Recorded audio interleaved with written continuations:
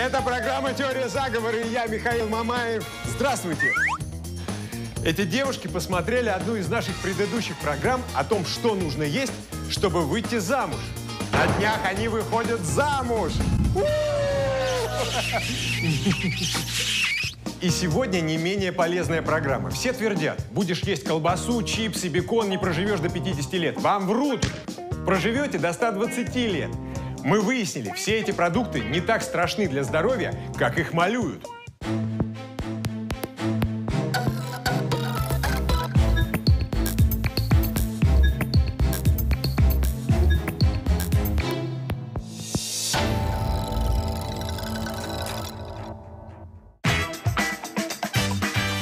Майонез. Все знают, у него репутация убийцы. От него инфаркты, ожирение. Но может он не так страшен, как его малюют? Может быть, вы сами виноваты и превращаете его в беспощадного убийцу? Итак, давайте разбираться по порядку. Чего в майонезе мы боимся больше всего? Ну, конечно же, калорий которых, по словам экспертов, там видимо-невидимо. И что мы делаем? Заменяем в блюдах майонез растительным маслом. И не сомневаемся, во-первых, оно полезнее, и во-вторых, от него точно не поправишься. Но действительно ли майонез – залог лишних килограммов? Что если огромная калорийность майонеза всего лишь популярный миф?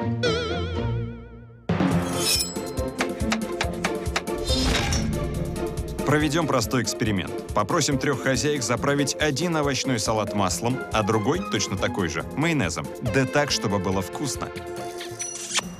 Но сначала делаем важные замеры до начала эксперимента. Итак, вес бутылки масла 950 граммов, а пачки майонеза 648. А теперь заправляем салаты. Ну, майонез я люблю.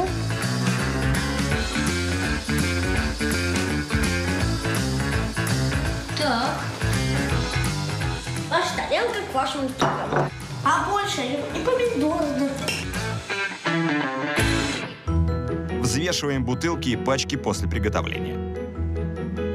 Ну что, доставайте калькулятор, будем считать. Итак, первая хозяйка на салаты потратила 54 грамма масла и аж 167 граммов майонеза. Почти целую пачку. Переводим в калории. Вторая хозяйка израсходовала 61 грамм масла и 57 майонеза. Ну и третья хозяйка самая экономная. У нее ушло всего 20 граммов масла и 16 майонеза. Вот это да! Салат с растительным маслом калорийнее того, что с майонезом. В двух случаях из трех. А Многие, ужиная салатом из овощей, заправляя его маслом, думают, что они э, поужинали здоровой пищей. За счет добавления высококалорийного масла э, этот салат уже составляет полсуточной калорийности. Как же так?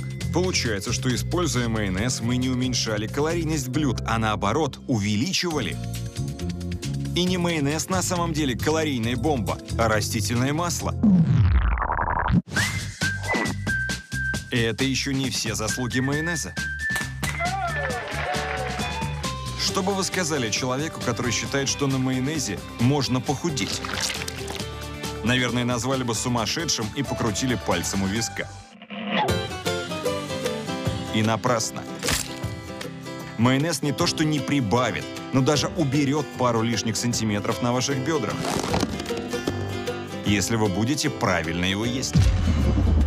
Есть такие работы, э, причем такие многоцентровые исследования, когда говорят, что люди, которые предпочтительно ели жиры, но не ели углеводы, они снижали вес практически в два раза быстрее.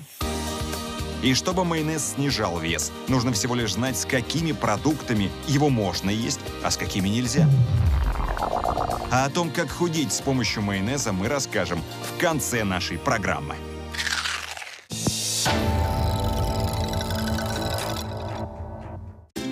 Есть еще один продукт, который не так страшен, как мы привыкли о нем думать. Это настоящая сенсация. Кто бы мог подумать, но это чипсы. Нет-нет, не возмущайтесь и не убирайте детей от экрана. Это правда. Например, в Корее вообще чипсы едят практически все. Минимум по пакетику в день. Едим чипсы как закуску. Если времени на полноценное блюдо нет, просто покупаем пачку. Кореянка Саян Парк обязательно прихватывает пару пакетиков чипсов, когда идет в магазин за продуктами. И каждой пачке радуется, как ребенок. Это чипсы со вкусом осьминога. Моя мама обожает эти чипсы. Вот, посмотрите, чипсы со вкусом васаби. Это чипсы со вкусом зеленого чая. А вот чипсы с тунцом и майонезом. Чипсы с новым вкусом появляются в Корее почти каждый месяц. До разговора с нами Саян Парк считала, что перепробовала чипсы со всеми возможными вкусами. Но ее ждал большой сюрприз. Чипсы с соленым огурцом? Правда? Ты шутишь?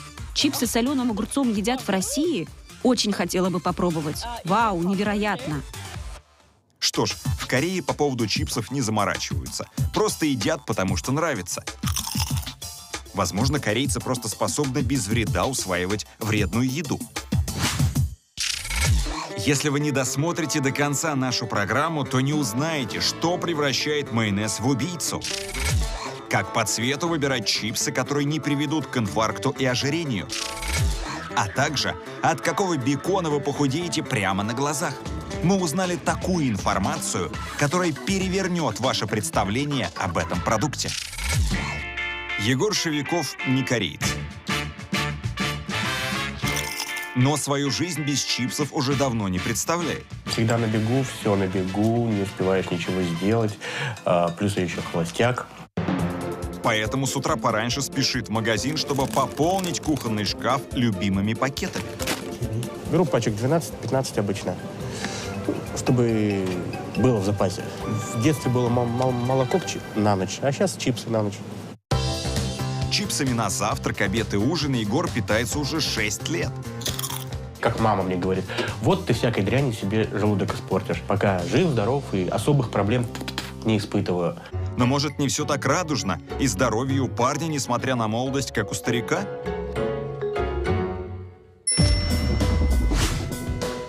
Вы, наверное, не раз слышали, как убийственно чипсы могут действовать на организм. По словам многих экспертов, они портят желудок, сажают печень и поджелудочную железу. Сгущают кровь и даже нарушают координацию движений. Но так ли страшен черт, как его малюют? Давайте проверим на практике. Ну, доктор, я, собственно, к вам обследоваться, узнать, как у меня со здоровьем.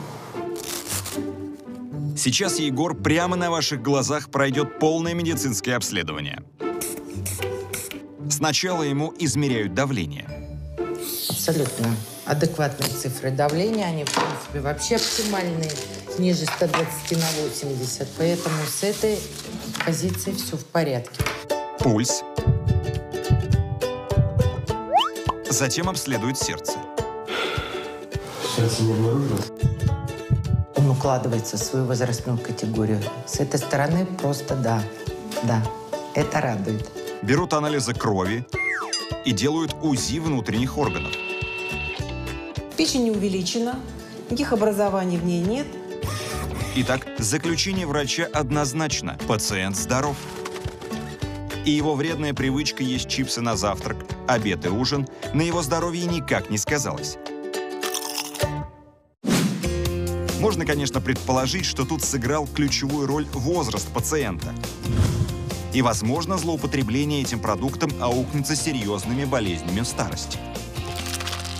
Каждого своя система детоксикации. Кто-то съест э, чипсы один раз, и у него будет плохое самочувствие, настроение, а кто-то может их есть в течение долгого времени и быть при этом нормальным человеком. Поэтому помните, если хотите перейти на чипсы, сначала нужно пройти обследование. Да, только так. Или выбирайте золотую середину. Какую? Да просто старайтесь и есть чипсы, в которых меньше вреда. Да-да, такие существуют, мы не шутим. Расскажем буквально через несколько минут.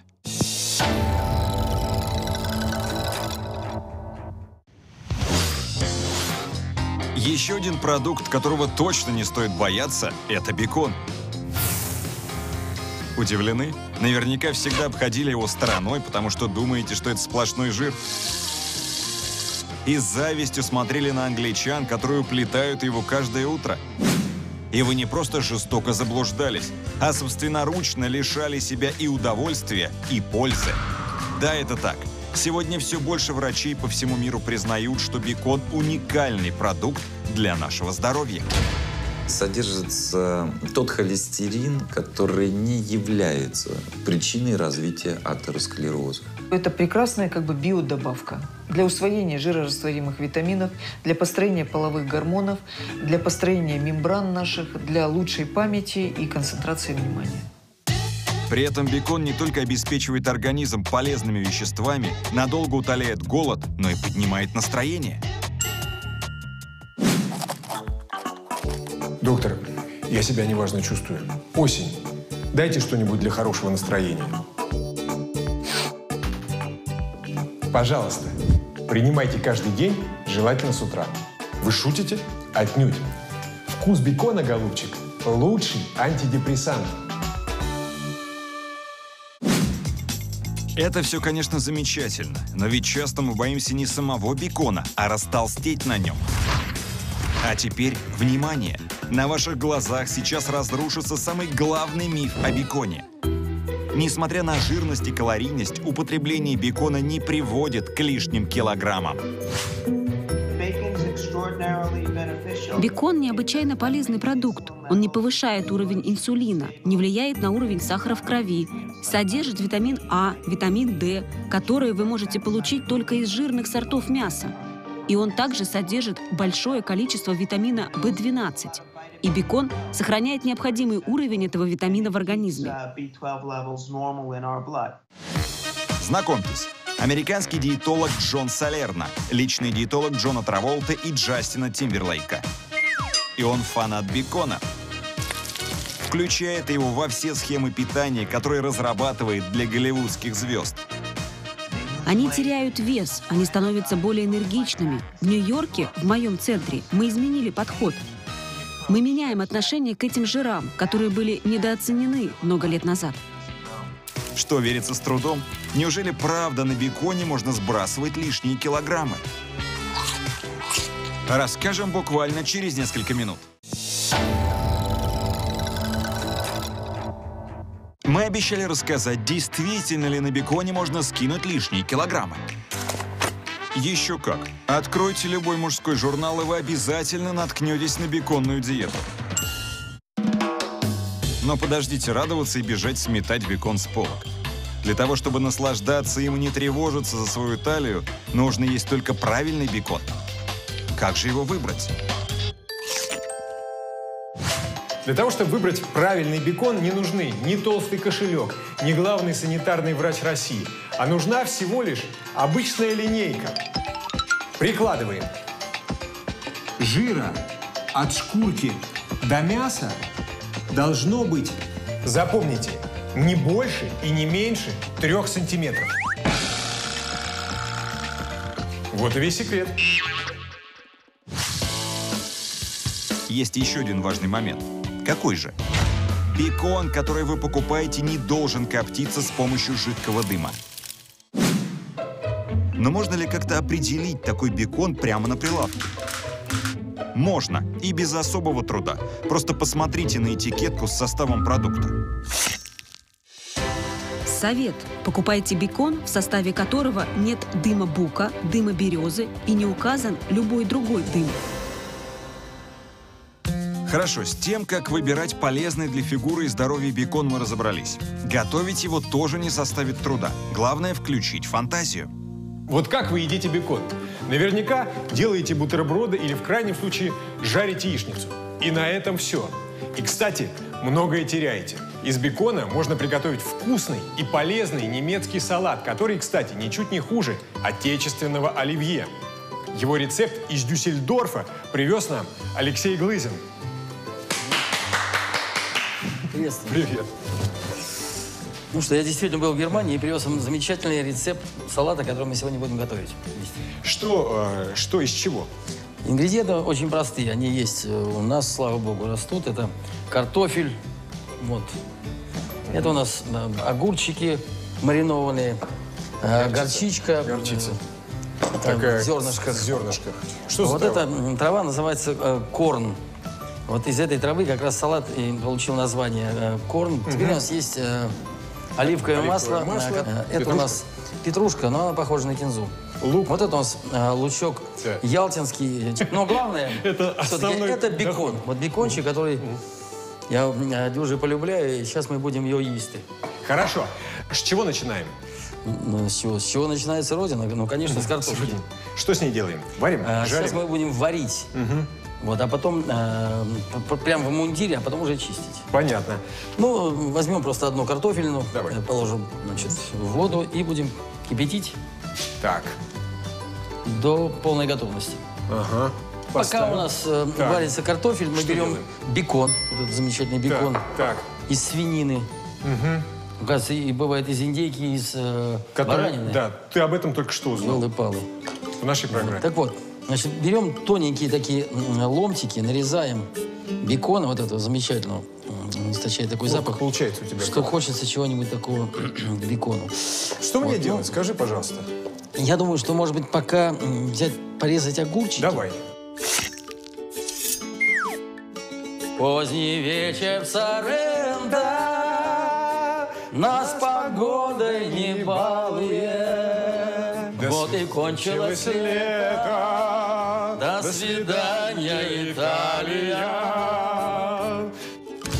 Да, теперь мы э, кладем бекон на сковородку И сейчас его обжариваем Сварилась картошка. Картошка своя аккуратнее, она горячая Доверишь мне ее почистить? Я почистил. Что Отлично. А, Теперь а, нам нужно картошку, естественно, это, а, ну, порезать, Порезать. помельчить. Ну, как это делается в оливье. Опять же, наше классическое оливье. Э, Да, еще нам надо, кстати, обязательно порезать вот этот самый лук. Леш, скажи, а вот Или- когда, когда тебе позвонили с Первого канала и позвали принять участие э, в шоу, где тебе пришлось ну, там, музыкальные пародии делать, и когда все узнали, что ты не только прекрасный певец, но еще и прекрасный Ну и клоун. пародист, скажем так, да? Вот, ты сразу согласился?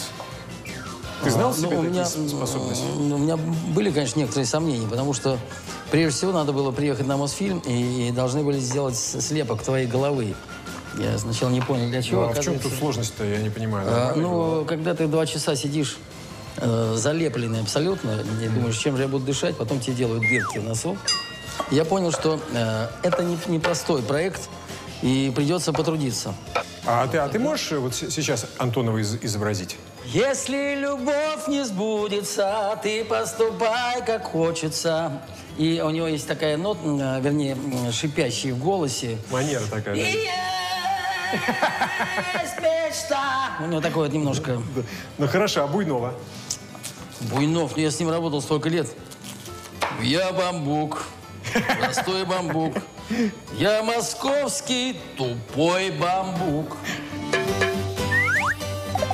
И сейчас э, берется вот такая мисочка. В нее мы наливаем оливковое масло. Э, берется у нас петрушка. Теперь мы ее режем. Э, Засыпаем сюда. Так, порезали. Теперь, а, нет, сначала мы берем а, вот это все содержимое, высыпаем в нашу мисочку. Так, аккуратненько. И потом берем горчичку в зернышках засыпаем сюда. Ну, можно, я думаю, пару ложечек Пару. будет очень даже. Она достаточно э, такая пряная, даже сладковатая, поэтому ху- хуже не будет точно. И перемешиваем. Ну да, желательно, ну, можем перемешать вот так вот. Запах такой приятный. Сочетание пет- этой э, Ну да, петрушки. петрушки и, и вот это горчицы.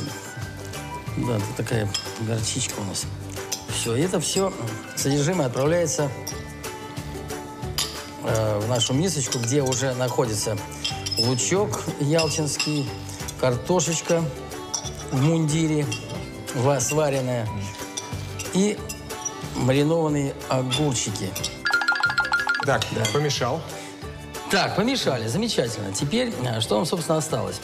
а, бекон. Бекон, который у нас уже готов и на сковородке, мы должны его а, отправить сюда же, в эту миску. Запах такой приятный. И а, что нам осталось, собственно? Сделать красоту, навести красоту. Мы берем для этого корн, травочка так и называется, Ага. корн. Вот так рассыпаем.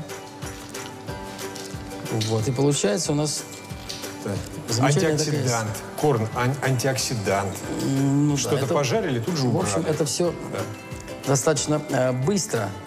И не надо м, особых каких-то ингредиентов и вложений. Так что в Дюссельдорфе заботятся о том, чтобы значит, э, можно было сделать все быстро, сытно и недорого. Леш, ну что, попробуем? Ну что, а- осталось э, самое главное попробовать, э, что у нас сегодня получилось. Этот наш, э, еще раз напоминаем, салат называется корн.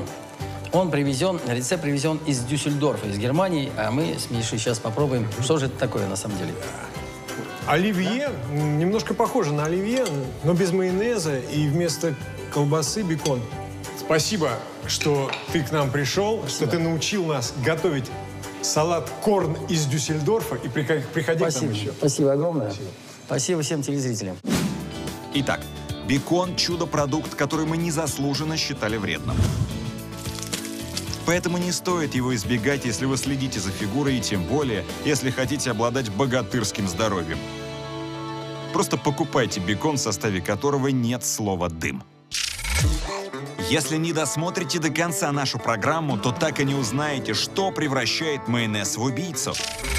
А также, как по цвету выбирать чипсы, которые не приведут к инфаркту и ожирению. Есть не только продукты, которых мы боимся. Каждый раз после готовки мы принимаемся наводить порядок на кухне. И нередко все заканчивается генеральной уборкой. Еще бы. Пыль ведь повсюду. Вы ведь тоже считаете, что это зло? Действительно, что еще можно подумать при виде этих монстров? Тем более, когда полевыми клещами пугают на каждом углу. А некоторые эксперты постоянно твердят, полевые клещи – причина целого букета заболеваний. Вот и хватаемся мы за тряпку несколько раз в неделю и пытаемся уничтожить пыль в труднодоступных местах. Но вы уверены, что после уборки у вас становится идеально чисто, да? А давайте проверим. Мы отправились в гостиницу, где номер тщательно убирают после гостя. Но не одни. Вместе с нашим постоянным экспертом Макакием Макакевичем. Ой, ты помогать идешь, да? Сегодня Макаки выступит в качестве члена комиссии по чистоте. А чтобы инспекция была беспристрастной, надеваем на него белые носочки. Чисто? Чисто? Всего через пять минут белые носочки Макакия становятся очевидно серыми. Видите?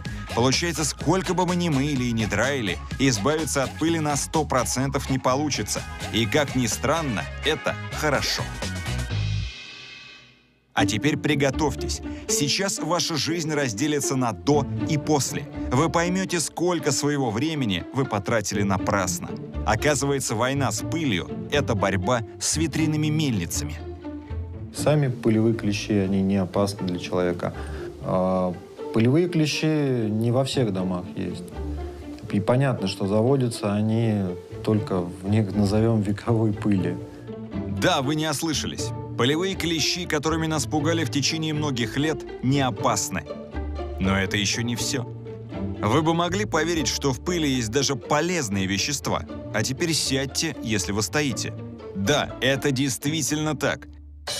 Эту сенсационную теорию первым выдвинул ученый из Института медицины Нью-Джерси Чарльз Вешлер. Изучением пыли вдоль и поперек он занимался целых 40 лет. Пыль может быть полезна в том смысле, что она может снизить уровень озона внутри помещений. Это, конечно, может быть интерпретировано как положительная сторона. Заинтригованы? Так в чем же польза ненавистной пыли? Сейчас попытаемся объяснить. Воздух, которым мы дышим, содержит озон, и если его концентрация превышена, то у человека развиваются болезни легких. И диагноз аллергия – это тот минимум, который может ждать каждого из нас. И при чем тут пыль, спросите вы? В это трудно поверить, но именно пыль помогает снизить концентрацию озона в воздухе. Без пыли невозможно существование жизни на планете Земля. Помимо этого, пыль создает естественный щит от э, космического излучения, от солнечной радиации, так скажем. Но это еще не все. Есть важный нюанс. На благо нам работает не вся пыль, а только домашняя. Да, оказывается, это особый вид. И сыпется она в прямом смысле слова прямо с нас. Наша кожа имеет свойство обновляться, скидывая омертвевшие фрагменты кожи. Где-то за 2-4 недели наша кожа полностью обновляется. Именно омертвевшие частички нашей кожи и борются с излишним озоном. Но проблема в том, что в наших домах есть не только пыль, но и грязь, которую мы приносим с улицы. И вот она-то опасна. Совет. Чаще делайте влажную уборку, а пылесос и тем более веник используйте реже. Они поднимают пыль с пола, а именно на полу скапливается больше всего уличной пыли. Итак, пыль не так страшна, как ее малюют. Кроме того, большая часть домашней пыли помогает снизить концентрацию озона в воздухе. Поэтому оставьте в покое веника-пылесос. Старайтесь чаще делать влажную уборку. Если не досмотрите до конца нашу программу, то так и не узнаете, что превращает майонез в убийцу. А также, как по цвету выбирать чипсы, которые не приведут к инфаркту и ожирению. Чипсы – продукт, который не так страшен, как мы привыкли о нем думать. Да, только представьте себе, и в начале программы мы доказали вам это. Если вы пропустили, не переживайте. Сейчас мы расскажем, какие чипсы можно есть, не опасаясь за здоровье. Итак, какие же чипсы не так вредны? Во-первых, те, которые сделаны из картошки. Правда, таких, по словам экспертов, сегодня днем с огнем не сыщешь. Могут делать из натурального картофеля, нарезанного ломтиками, а могут делать из э, ну, композиции различных видов муки, крахмалов, опять же, с усилителями вкуса, с добавками, всевозможными пищевыми добавками. Какой кошмар! Такой крахмально-мучной смесью можно, пожалуй, только шпатлевать оконные щели или использовать для обоев вместо клистера. Причем чипсы из такой адской смеси от чипсов из натуральной картошки по внешнему виду отличить очень сложно. Что же делать? Может быть, выбирать по цене? Выясним. Покупаем 5 пачек чипсов по разной цене, от 30 до 250 рублей, и приносим ищейки мини-пигу фунтику. Не удивляйтесь, это мы вам, как говорится, не свинью подложили. Мало кто знает, но эти маленькие животные с большим пятачком обладают уникальным нюхом. Поэтому их почетная обязанность – искать в лесу по запаху трюфеля. А это, на минуточку, один из самых дорогих деликатесов в мире. Сегодня мини-пик будет искать по запаху свою любимую картошку. Оказывается, это его любимое лакомство, которое он ест каждый день.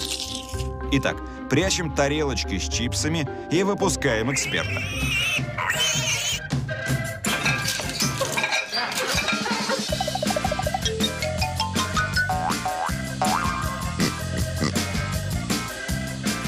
Итак, наш эксперт выбрал всего один образец из пяти.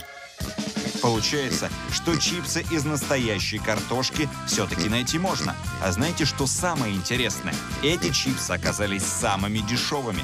Всего чуть больше 30 рублей за пачку. Совет. Чтобы купить картофельные чипсы, смотрите на состав продукта. Там должны быть указаны только картофель, масло и приправы, и никакого крахмала и муки.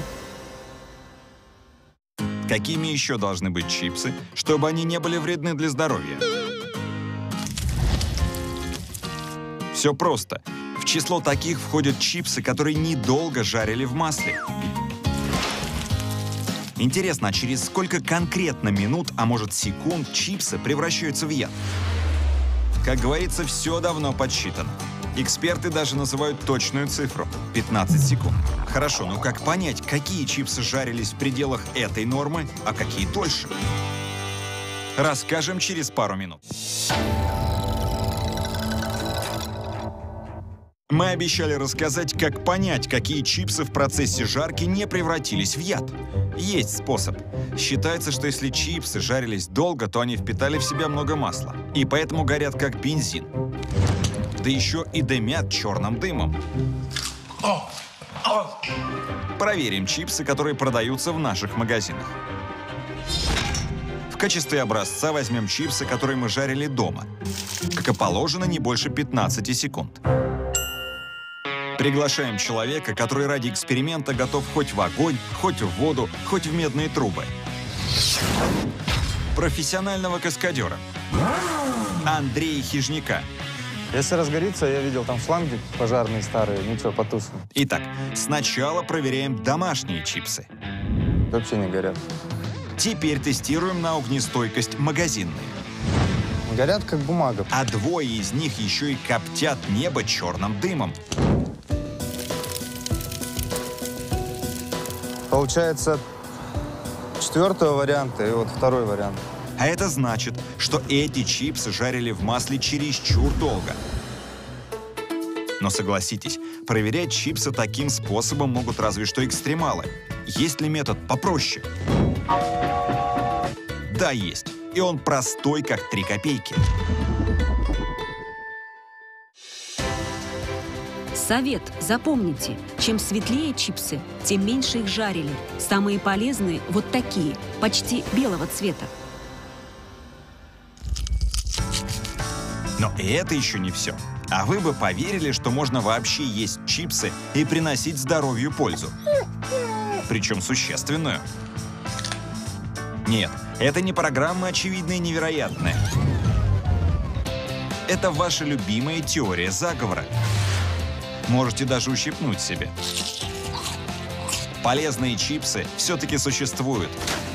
Это чипсы из ламинарии. Употреблением этих чипсов мы можем э, частично компенсировать нехватку йода для организма. Остается выяснить одно. Есть-то их можно с таким же удовольствием, как обычные. Покупаем чипсы из ламинарии с тремя разными вкусами – кимчи, корейского барбекю и миндаля. И везем за 500 километров самым неискушенным дегустатором.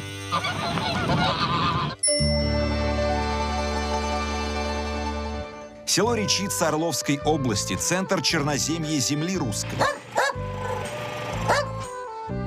Про такие селения на Руси всегда говорили. Тут зимой палку воткнешь, а на весной яблоней зацветет. И чипсам тут всегда предпочитают жареную картошечку с салом. Нет, я не буду кушать. Да жуй, ну почему? Да как я буду шалафан жевать? У меня зубов нету. Дай покушай, а то скажут, не поела. Если бы потолще еще были. Продукт диетический, наверное. Да? Самое главное, без ГМО. Трава травы.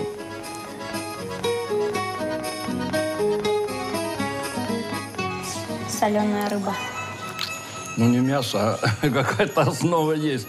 Вообще безвкусная. Не, острая. Морем пахнет. Ну, к этим продуктам не привыкшие. Не понимаю. Да мне не очень. Ну, и вполне съедобно. Одну траву жуешь и все. Получается чипсы из морской капусты по вкусу скорее на любителя. Но может главное тут не столько вкус, сколько польза? Как говорится, стерпится, слюбится. Итак, чипсы на самом деле не так страшны, как их малюют. При условии, что вы едите чипсы из настоящей картошки,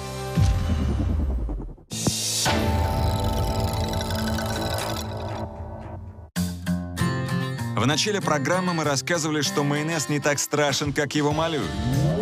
А салат с растительным маслом может быть калорийнее салата с майонезом.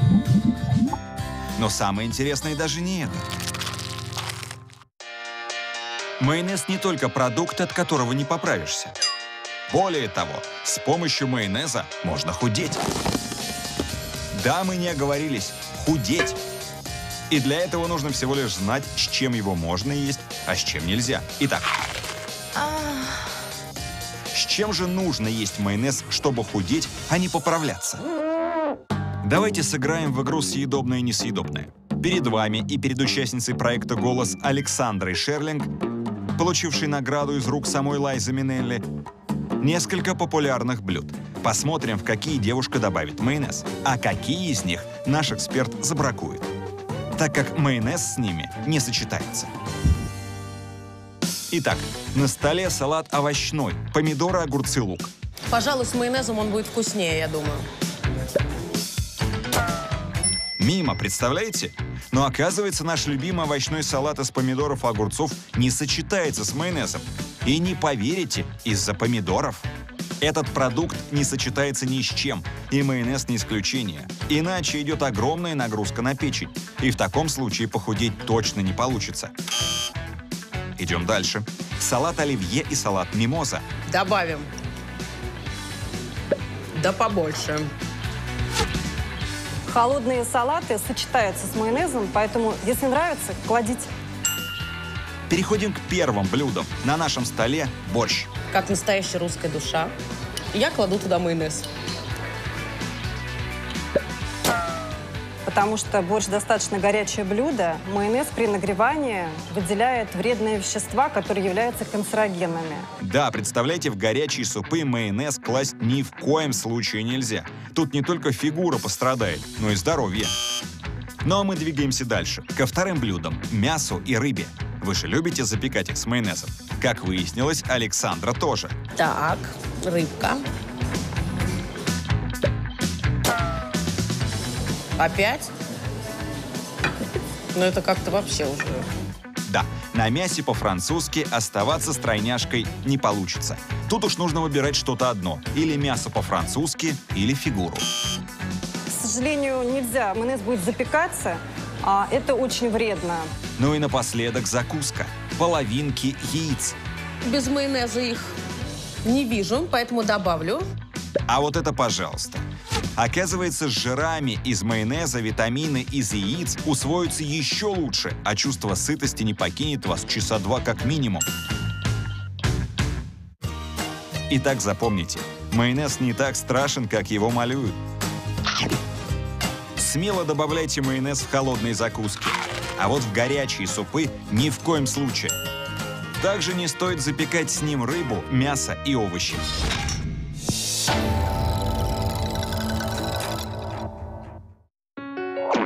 Итак, некоторые продукты, которых мы боимся как огня, на самом деле не так страшны, как их малюют.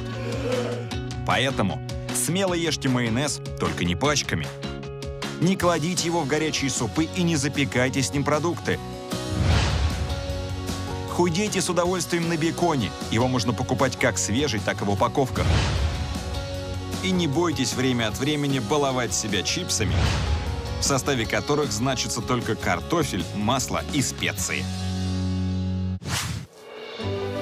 На сегодня это все. Теперь вы знаете, какие продукты не так страшны, как их малюют, и что нужно есть, чтобы прожить 120 лет. Не стоит благодарности, не стоит благодарности. Все, я полетел.